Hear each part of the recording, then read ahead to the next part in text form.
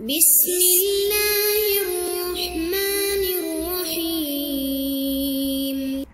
الحمد لله رب العالمين والصلاة والسلام على سيد الأنبياء والمرسلين أما بعد فأستعيذ بالله من الشيطان الرجيم بسم الله الرحمن الرحيم السلام علیکم ورحمۃ اللہ وبرکاتہ عزیز طلبہ کرام امید کرتا ہوں احباب خیر سے ہوں گے۔ انشاءاللہ آج ہم مشکات المصابیح کے درس نمبر ایک سو چوالیس میں کتاب الطب والرقا فصل ثانی سے حدیث نمبر پینتالیس سو پینتیس سے لے کر پینتالیس سو انتالیس تک پڑھنے کی سعادت حاصل کریں گے۔ آج کے درس میں ان احادیث مقدسہ کا ترجمہ ہوگا۔ اور ساتھ ساتھ ان احادیث مبارکہ کی توضیح و تشریح کرنے کی سعادت حاصل کریں گے۔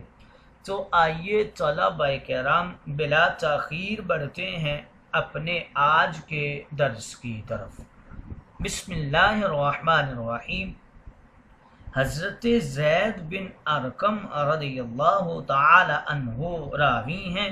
وعن زید بن ارقم قال امرنا رسول اللہ صلی اللہ علیہ وسلم ان نتداوى من ذات الجنب بالقسط البحری والزیت رواہ الترمذی حضرت زید بن ارکم کہتے ہیں کہ رسول کریم نے ہمیں ہدایت فرمائی کہ ہم ذات جنب کی بیماری میں قسط بحری اور زیتون کے تیل کے ذریعے علاج کریں۔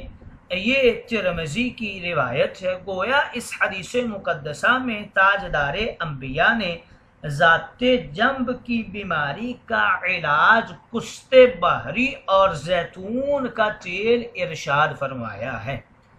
اگلی حدیث مقدسہ کی طرف بڑھتے ہیں۔ حضرت زید بن ارکم رضی اللہ تعالی عنہ آپ ہی راوی ہیں۔ وعنه قال، كان رسول الله صلى الله عليه وسلم ينعت الزيت والورس من ذات الجنب. رواه الترمذي. حضرت زید بن ارکم رضی اللہ تعالی عنہ راوی ہیں، کہتے ہیں کہ رسول کریم نے ذات جنب کے علاج کے لیے زیتون کے تیل اور ورس کی تعریف کی۔ زیتون کے تیل کو زیت کہتے ہیں اور ورس یہ ایک خاص قسم کی گھاس ہوتی ہے، جس کا رنگ سرخ اور زرد ہوتا ہے۔ اس کے ریشے زعفران کی طرح ہوتے ہیں۔ یہ کئی دواؤں کے اندر استعمال ہوتا ہے۔ اگلی حدیث مقدسہ کی طرف بڑھتے ہیں۔ حضرت اسما بنت عمیس رضی اللہ تعالی عنہ راویہ ہیں وعن أسماء بنت عمیس أن النبی صلی اللہ علیہ وسلم سألها بها تستمشین قالت بالشبرم قال حار حار قالت ثم استمشيت بالسنا فقال النبي صلى الله عليه وسلم لو ان شيئا كان فيه الشفاء من الموت لكان في السنة. رواه الترمذي وابن ماجه وقال الترمذي هذا حديث حسن غريب. حضرت اسما بنت عمیس راویہ ہیں، کہتی ہیں کہ نبی کریم نے ان سے پوچھا کہ تم کس چیز سے جلاب لیتی ہو؟ انہوں نے کہا شوبرم سے۔ آپ نے فرمایا شوبرم تو گرم ہے گرم ہے۔ اسما کہتی ہیں کہ پھر میں نے سنا سے جلاب لیا۔ اور نبی کریم نے فرمایا کہ اگر کسی چیز میں موت سے شفا ہوتی یعنی موت کا علاج کسی دوا میں ہوتا تو وہ سنا ہوتی۔ یہ ترمزی اور ابن ماجہ کی روایت ہے۔ ترمزی نے کہا ہے کہ یہ حدیث حسن غریب ہے۔ گویا تاجدار انبیاء نے اس حدیث مقدسہ میں اس بات کی طرف اشارہ فرمایا ہے کہ سنا بہترین دوا ہے۔ اسما بنت عمیس یہ حضرت جعفر طیار کی زوجہ محترمہ ہیں ان کی شہادت کے بعد حضرت صدیق کے نکاح میں آئی تھی۔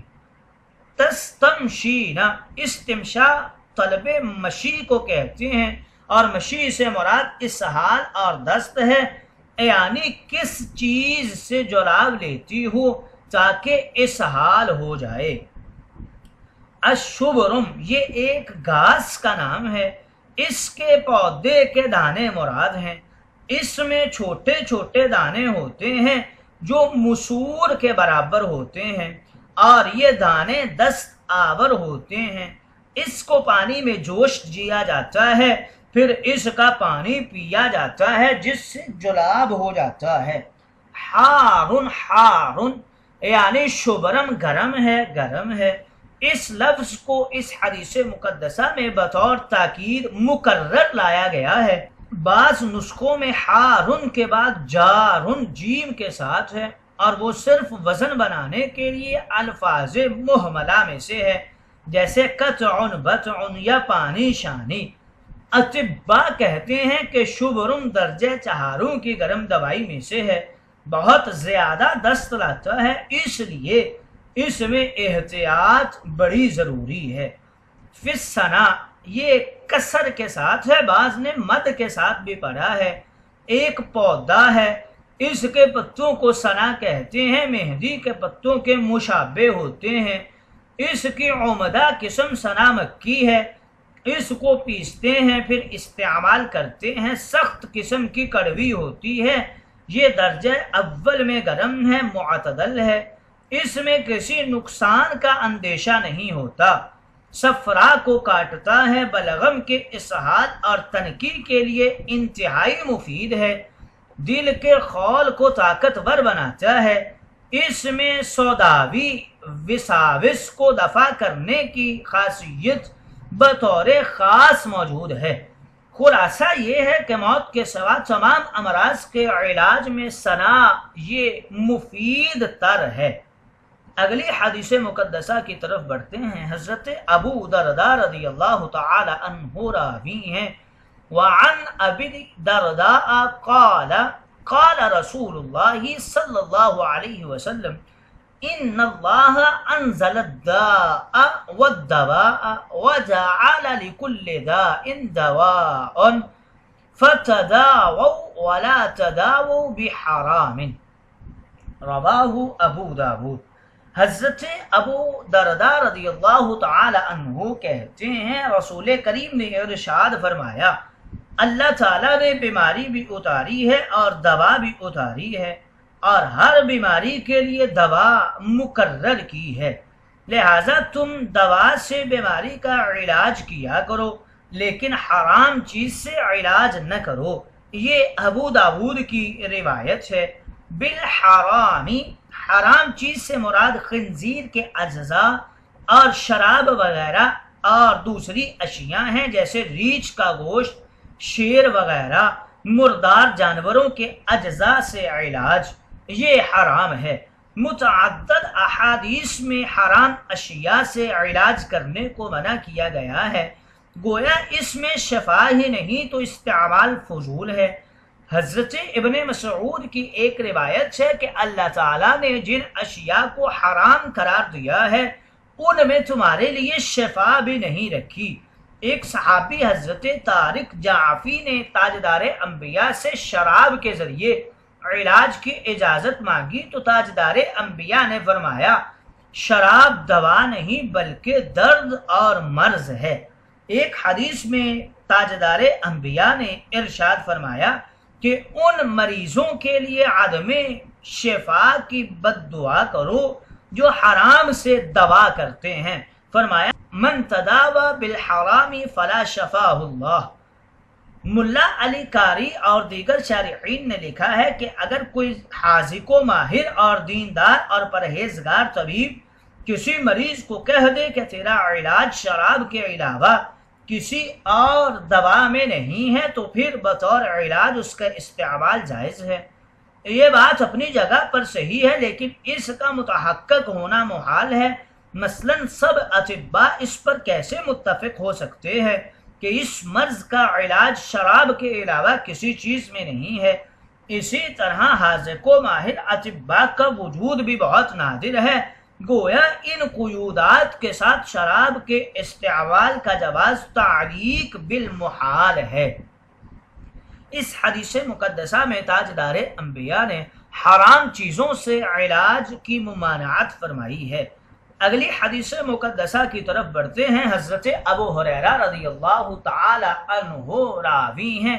وعن ابی حریرہ قال، نہا رسول اللہ صلی اللہ علیہ وسلم عن الدواء الخبیث۔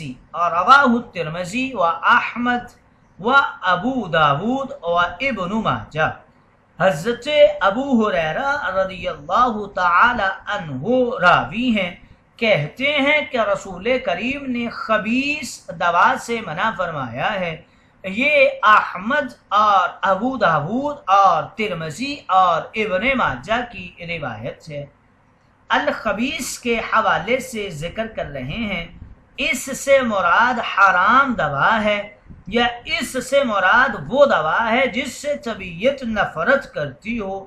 علماء اور اطباء نے لکھا ہے کہ طبیعت جس دوا سے نفرت کرتی ہے، اس میں عموماً علاج اور شفا نہیں ہوتی۔ اس صورت میں یہ نہج کراہت پر محمول ہوگی۔ اور خبیص دواؤں کے حوالے سے یہی بتا رہے ہیں کہ حرام اشیاء کا استعمال ان سے اپنا علاج کرنا جیسے خنزیر کے اجزاء ہوں، شراب ہو، ریچھ کا گوشت ہو شیر وغیرہ کا گوشت ہو، مردار جانوروں کے اجزاء ہوں، تو یہ سبھی اشیاء جو ہیں، یہ خبیص کے دائرہ کار میں آتی ہیں۔ گویا تاجدار انبیاء نے خبیص اشیاء کی دوا بنانے اور پھر اس سے علاج کرنے سے حکمن منع فرمایا ہے۔